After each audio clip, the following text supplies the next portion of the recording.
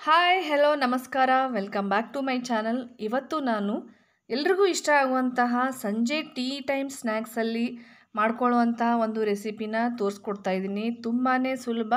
ಹಾಗೆ ಕಾರ್ನ್ ಎಲ್ಲ ಉಪಯೋಗಿಸಿರೋದ್ರಿಂದ ಮಕ್ಕಳು ಕೂಡ ತುಂಬಾ ಇಷ್ಟಪಟ್ಟು ತಿಂತಾರೆ.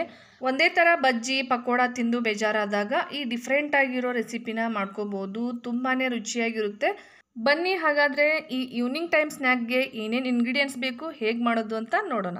ಫಸ್ಟ್ ನಾನು ಕುಕ್ಕರ್ಗೆ ಒಂದು ಕಪ್ ಜೋಳ ಸೇರಿಸ್ಕೊಳ್ತಾ ಇದ್ದೀನಿ. ಇದಕ್ಕೆ ಉತ್ತರ ಕರ್ನಾಟಕದಲ್ಲಿ ಗೊಂಜಾಳ ಕೂಡ ಅಂತಾರೆ. ಸೊ ಹಸಿ ಜೋಳನ ಸೇರಿಸ್ಕೊಂಡಿದ್ದೀನಿ. ಅದಾದಮೇಲೆ ನೆಕ್ಸ್ಟು ನಾನು ಒಂದು ಮೀಡಿಯಮ್ ಸೈಜ್ ಆಲೂಗಡ್ಡೆ ಜೊತೆಗೆ ಒಂದು ಚಿಕ್ಕ ಸೈಜ್ ಆಲೂಗಡ್ಡೆನ ಈ ಥರ ಎರಡು ಆಗಿ ಮಾಡ್ಕೊಂಡಿದ್ದೀನಿ. ಒಂದರಲ್ಲಿ ಎರಡು ಮಾಡಿಕೊಂಡು ಕುಕ್ಕರ್ಗೆ ಸೇರಿಸ್ಕೊಳ್ತಾ ಇದ್ದೀನಿ. ನೀವು ಎರಡು ಆಲೂಗಡ್ಡೆ ಬದಲು ಒಂದೇ ದೊಡ್ಡ ಸೈಜ್ ಆಲೂಗಡ್ಡೆನ ಎರಡು ಪೀಸ್ ಮಾಡಿ ಹಾಕೋಬಹುದು. ನೋಡಿ, ನಾನು ಒಂದೂವರೆ ಕಪ್ಪಷ್ಟು ನೀರು ಸೇರಿಸ್ಕೊಳ್ತಾ ಇದ್ದೀನಿ ಈಗ ಕುಕ್ಕರ್ಗೆ ಒಂದು ಮೂರು ವಿಜಿಲ್ ಕೂಗಿಸ್ಕೊಳ್ತಾ ಇದ್ದೀನಿ. ಆಲೂಗಡ್ಡೆ ಮತ್ತು ಕಾರ್ನ್ ಎಲ್ಲ ಸಾಫ್ಟ್ ಆಗಬೇಕು. ನೋಡಿ, ಈಗ ಮೂರು ವಿಜಿಲ್ ಕೂಗಿಸ್ಕೊಂಡಾಯಿತು. ಕುಕ್ಕರ್ ಕೂಡ ತಣ್ಣಗಾಗಿದೆ ನೋಡಿ ಕಾರ್ನ್ ಮತ್ತು ಆಲೂಗಡ್ಡೆ ಎಲ್ಲ ಸಾಫ್ಟಾಗಿ ಬೆಂದಿದೆ. ಈಗ ಮಿಕ್ಸಿ ಜಾರ್ಗೆ ನಾನು ಬೇಯಿಸ್ಕೊಂಡಿರೋ ಜೋಳ ಸೇರಿಸ್ಕೊಳ್ತಾ ಇದ್ದೀನಿ. ಹಾಗೆ ಬೇಯಿಸ್ಕೊಂಡಿರೋ ಆಲೂಗಡ್ಡೆನ ನೋಡಿ ಸ್ವಲ್ಪ ದೊಡ್ಡ ಸೈಜಲ್ಲೇ ಕಟ್ ಮಾಡಿಕೊಂಡು ನಾನು ಮಿಕ್ಸಿ ಜಾರ್ಗೆ ಸೇರಿಸ್ಕೊಳ್ತಾ ಇದ್ದೀನಿ. ಈಗ ಈ ಎರಡು ಇಂಗ್ರೀಡಿಯೆಂಟ್ಸ್ನು ನಾನು ಚೆನ್ನಾಗಿ ಪೇಸ್ಟ್ ಮಾಡ್ಕೊಳ್ತಾ ಇದ್ದೀನಿ. ನೋಡಿ ಯಾವ ರೀತಿ ಬಂದಿದೆ ಅಂತ ತೋರಿಸ್ತಾ ಇದ್ದೀನಿ ನೋಡಿ, ಈ ಥರ ಚೆನ್ನಾಗಿ ಪೇಸ್ಟ್ ಆಗಿರಬೇಕು. ಈಗ ನಾನು ಮಿಕ್ಸಿ ಜಾರಲ್ಲಿ ಏನು ಪೇಸ್ಟ್ ಮಾಡ್ಕೊಂಡಿದ್ನಲ್ಲ, ಅದನ್ನು ಒಂದು ಪಾತ್ರೆಗೆ ತೆಗಿತಾ ಇದ್ದೀನಿ. ಮಿಕ್ಸಿ ಜಾರಲ್ಲಿ ಪೇಸ್ಟ್ ಮಾಡ್ಕೋಬೇಕಾದ್ರೆ ಒಂಚೂರು ನೀರು ಸೇರಿಸ್ಕೊಳ್ದೇ ಪೇಸ್ಟ್ ಮಾಡ್ಕೋಬೇಕು. ಅದಾದಮೇಲೆ ನೆಕ್ಸ್ಟ್ ನಾನು ಒಂದು ಮೀಡಿಯಮ್ ಸೈಜ್ ಈರುಳ್ಳಿನ ಸಣ್ಣದಾಗಿ ಕಟ್ ಮಾಡಿಕೊಂಡು ಸೇರಿಸ್ಕೊಳ್ತಾ ಇದ್ದೀನಿ. ಅದಾದಮೇಲೆ ಒಂದು ಐದು ಹಸಿಮೆಣ್ಸಿನ್ಕಾಯಿನ ಸಣ್ಣದಾಗಿ ಕಟ್ ಮಾಡಿ ಸೇರಿಸ್ಕೊಂಡಿದ್ದೀನಿ ಅದಾದಮೇಲೆ ನಾನು ಒಂದು ಅರ್ಧ ಕಪ್ ಅಕ್ಕಿ ಹಿಟ್ಟು ಸೇರಿಸ್ಕೊಂಡಿದ್ದೀನಿ ಒಂದು ಚಿಕ್ಕ ಕಪ್ಪಲ್ಲಿ ನೆಕ್ಸ್ಟು ನಾನು ಅರ್ಧ ಚಮಚ ಜೀರಾ ಪೌಡ್ರ್ ಸೇರಿಸ್ಕೊಳ್ತಾ ಇದ್ದೀನಿ. ಅದಾದಮೇಲೆ ಒಂದು ಚಮಚ ಧನಿಯಾ ಪೌಡರ್. ಹಾಗೆ ಒಂದು ಚಮಚ ನಾನು ಚಾಟ್ ಮಸಾಲ ಪೌಡ್ರ್ ಸೇರಿಸ್ಕೊಳ್ತಾ ಇದ್ದೀನಿ. ನೆಕ್ಸ್ಟು ರುಚಿಗೆ ತಕ್ಕಷ್ಟು ಉಪ್ಪು. ಹಾಗೆ ಸಣ್ಣದಾಗಿ ಕಟ್ ಮಾಡ್ಕೊಂಡಿರೋ ಕೊತ್ತಂಬರಿ ಸೊಪ್ಪನ್ನು ಸೇರಿಸ್ಕೊಳ್ತಾ ಇದ್ದೀನಿ.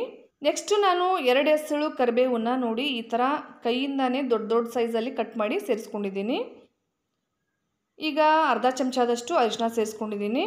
ಈಗ ಎಲ್ಲ ಇಂಗ್ರೀಡಿಯೆಂಟ್ಸ್ನು ನಾನು ನೋಡಿ ಕೈಯಿಂದ ಚೆನ್ನಾಗಿ ಮಿಕ್ಸ್ ಮಾಡ್ಕೊಳ್ತಾ ಇದ್ದೀನಿ. ನಿಮಗೆ ಹಿಟ್ಟು ತುಂಬಾ ಮೆತ್ತಗಾಗ್ತಾ ಇದೆ ಅಂತ ಅನಿಸಿದರೆ ಇನ್ನೊಂದು ಚೂರು ಅಕ್ಕಿ ಹಿಟ್ಟನ್ನ ಸೇರಿಸ್ಕೋಬೋದು. ನೋಡಿ, ತುಂಬ ತೆಳ್ಳಗೂ ಅಲ್ಲ, ತುಂಬ ಗಟ್ಟಿನೂ ಅಲ್ಲ, ಆ ಥರ ನಾನು ಈಗ ಕಲಿಸ್ಕೊಂಡಾಯಿತು ಹಿಟ್ಟನ್ನು. ನೀವು ಬೇಕು ಅಂದರೆ ಎಲ್ಲ ಇಂಗ್ರೀಡಿಯೆಂಟ್ಸ್ನು ಸೇರಿಸ್ಬೇಕಾದ್ರೆ ಶುಂಠಿ ಬೆಳ್ಳುಳ್ಳಿ ಪೇಸ್ಟನ್ನು ಕೂಡ ಸೇರಿಸ್ಕೋಬೋದು. ಈಗ ನೋಡಿ, ಕೈಗೆ ನಾನು ಎಣ್ಣೆ ಹಚ್ಕೊಂಡು ಚಿಕ್ಕ ಚಿಕ್ಕ ಉಂಡೆ ಸೈಜನ್ನು ತೊಗೊಂಡಿದ್ದೀನಿ. ನೋಡಿ, ಈ ಥರ ಕೈಯಲ್ಲೇ ತಟ್ಕೊಳ್ತಾ ಇದ್ದೀನಿ. ನಾವು ಕಡಲೆಬೇಳೆ ವಡ ಎಲ್ಲ ಮಾಡ್ತೀವಲ್ಲ ಅದೇ ಥರ ಕೈಯಲ್ಲೇ ತಟ್ಕೋಬೇಕು. ತುಂಬ ತೆಳ್ಳಗೂ ಅಲ್ಲ, ತುಂಬ ದಪ್ಪನೂ ಅಲ್ಲ, ಆ ರೀತಿ ನಾನು ತಟ್ಕೊಂಡಿದ್ದೀನಿ. ಈಗ ಕಾದಿರೋ ಎಣ್ಣೆಗೆ ನಾನು ಒಂದೊಂದನ್ನೇ ಸೇರಿಸ್ಕೊಳ್ತಾ ಇದ್ದೀನಿ. ಇದು ಕಟ್ಲೆಟ್ ಶೇಪಲ್ಲಿ ಇರಬೇಕು. ನೋಡೋಕ್ಕೂ ತುಂಬ ಚೆನ್ನಾಗಿರುತ್ತೆ. ಜೊತೆಗೆ ಟೇಸ್ಟು ಕೂಡ ತುಂಬ ಚೆನ್ನಾಗಿರುತ್ತೆ. ತುಂಬ ತೆಳ್ಳಗೂ ಆದ್ರೂ ಚೆನ್ನಾಗಿ ಬರಲ್ಲ. ತುಂಬ ದಪ್ಪಗೂ ಇದ್ದರೆ ಒಳಗಡೆ ಬೇಯೋದಿಲ್ಲ. ಹಾಗಾಗಿ ನಾವು ಕಟ್ಲೆಟ್ ಎಲ್ಲ ಮಾಡ್ಕೊಳ್ತೀವಲ್ಲ, ಅದೇ ಥರ ಇರಬೇಕು. ನೋಡಿ, ಈಗ ಮೇಲೆ ಕೆಳಗೆ ಮಾಡಿಕೊಂಡು ಚೆನ್ನಾಗಿ ಬೇಯಿಸ್ಕೋಬೇಕು.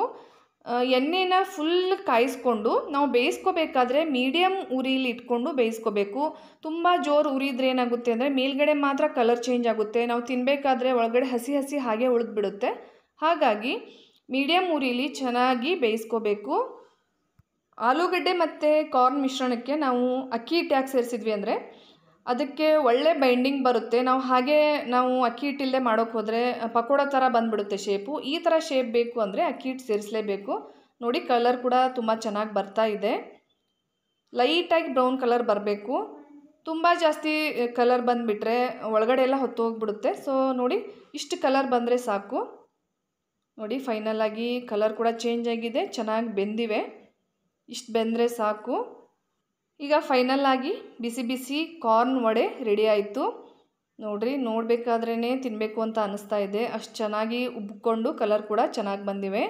ಸೊ ಸ್ನೇಹಿತರೆ ಫೈನಲಿ ನಮ್ಮ ರುಚಿಯಾದ ಆಲೂ ಕಾರ್ನ್ ವಡೆ ರೆಡಿ ಆದವು. ನೀವು ಕೂಡ ಟ್ರೈ ಮಾಡಿ, ಹಾಗೆ ಏನೇ ಅನಿಸಿದ್ರು ಕೂಡ ಕಮೆಂಟ್ಸ್ ಬಾಕ್ಸಲ್ಲಿ ತಿಳಿಸಿ. ಮತ್ತೆ ಸಿಗೋಣ ಮತ್ತಷ್ಟು ಹೊಸ ಈಸಿ ರೆಸಿಪಿ ಜೊತೆ. ಅಲ್ಲಿವರೆಗೂ ಎಲ್ಲರಿಗೂ ನಮಸ್ಕಾರ. ಥ್ಯಾಂಕ್ ಯು ಧನ್ಯವಾದ.